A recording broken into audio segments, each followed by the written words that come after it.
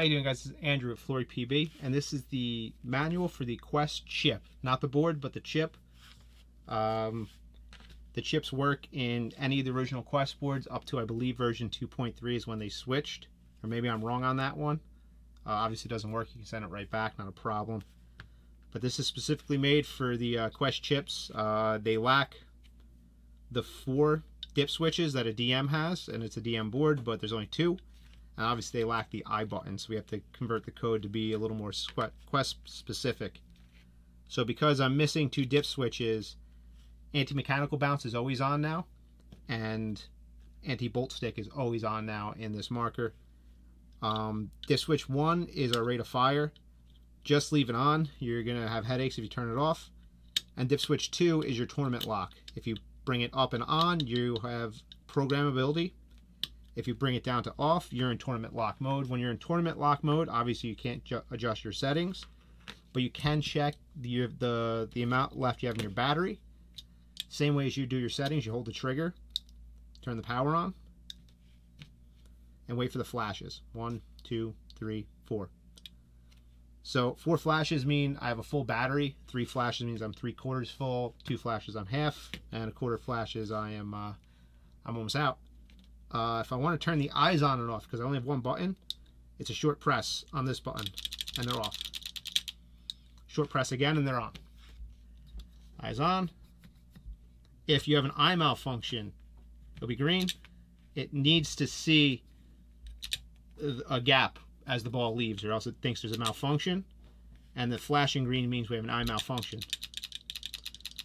We're still going to ramp if we're shooting 10, we're not really going to feel a difference in an eye malfunction or, or not having one because uh, we're in you know ramping mode or we're at 10 and it's kind of the generic fallback is 10 balls a second because most hoppers can feed that and it's not going to hurt you but it's a quick and easy way to turn your eyes on and off and I hopefully it's convenient enough for everybody.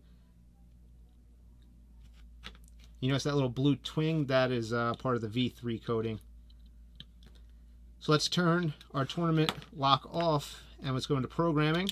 Program it like every other board. You hold the trigger down. Let it turn on. Cycles. We're to start with red. Red is our dwell. And our dwell is set to 8 stock because that's what apparently we're set to in these. Uh, shoots really nice, so that's good.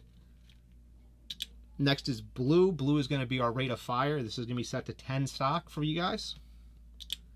Next is teal. Teal is going to be your anti-mechanical bounce. This is set to 5 stock.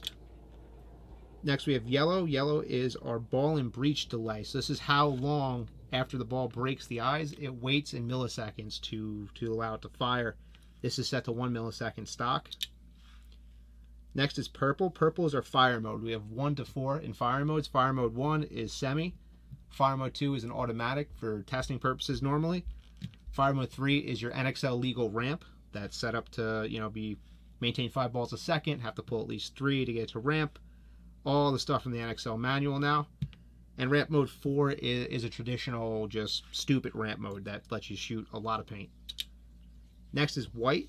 White is our uh, incremental balls per second. So we can set uh, one pull is zero balls a second, and 10 pulls is 0.9 balls per second. So you can set 0.1 balls per second increments throughout. We'll reset this to be 10.5 from 10, because I know that's the legal limit.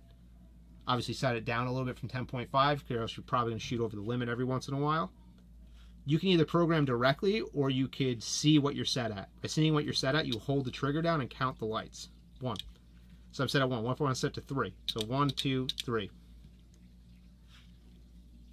Now three is 0.2 balls per second added, so I'll be shooting 10.2 now. Uh, one pull is zero, or one pull is zero, two pulls is 0.1, three pulls is 0.2. Say I want to do 0.5 though, but I don't want to see what I have.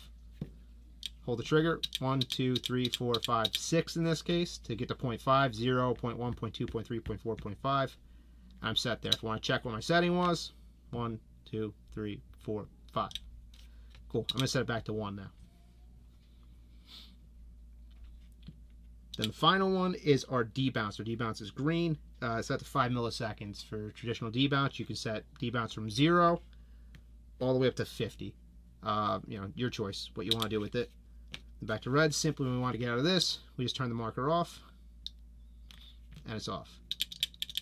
And the marker is ready to go.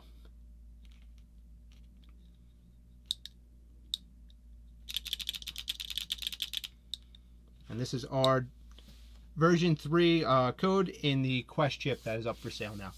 Thank you guys. Is Andrew at Flory PB, and that's it for this.